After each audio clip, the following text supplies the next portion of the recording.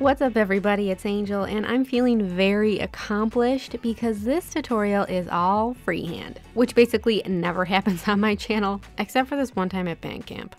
For my lines, I took this striping brush and murdered it by cutting half the bristles off to make it thinner, but it actually makes it better because it's easier to control and I could just get a thinner, better line.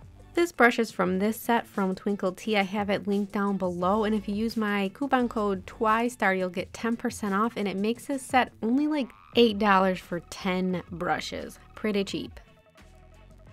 For my base coat I use Superchic Lacquer Bring It On Base Coat.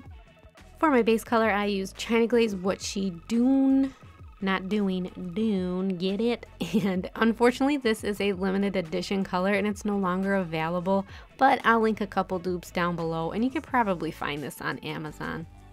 Then on a piece of paper, I plopped out some OPI My Vampire is Buff, which, by the way, is one of my all-time favorite polishes, not only for the color, but also because of the name.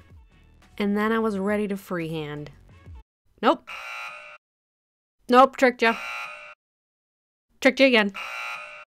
As you can see, I am really freaked out by freehand, and I was like redipping my brush into the polish.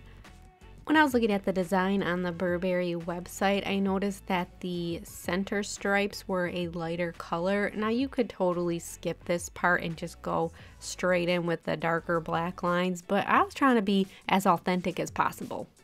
You know, real bougie with my Burberry inspired nail art. Once I let that dry for a little bit, I came back in with Julep Janae, which isn't a straight black. It's kind of an off black. And as you can see, this probably wasn't the best choice of polish because it's a little thin and I kind of have to go over some portions to make it a little darker. In retrospect, I probably should have used acrylic paint. It would have been thinner, easier to apply, and more opaque in one swipe. Lesson learned. I noticed at the edges of the nail where I was first touching the brush down to the nail was the parts where I seemed to mess up the most. I think because I had more polish on the brush at that time. So what I ended up doing was after I made the lines, I just went back in with a little bit of the base color to try to cover up some of those lines and it worked out okay. You could see it here, but once you slap on top coat, it covers it up.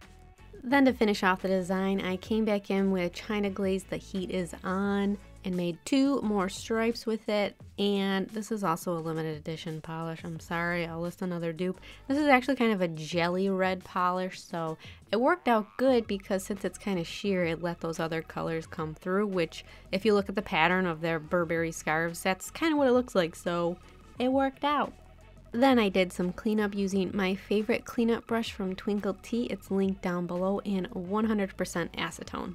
My original plan was to use matte top coat like I'm showing here on my thumb and I'm glad I tested it out on my thumb because I actually didn't prefer it this way. I preferred it shiny so I slapped some top coat over this one.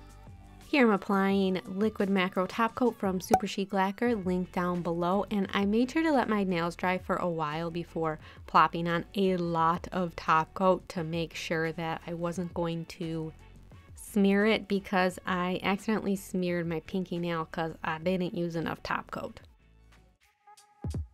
And that completes my Burberry plaid inspired mani. I love plaid nails for fall, but you could always jazz these up by using neons or holo polishes if neutral colors aren't your thing. I have another idea for a plaid mani that's a little different, so let me know if you want to see it by giving this video a thumbs up or leaving me a comment if you are mad for plaid. And if you just cannot get enough of me, I mean, I know, right? You can follow me on Instagram, Snapchat, and Twitter at twi underscore star.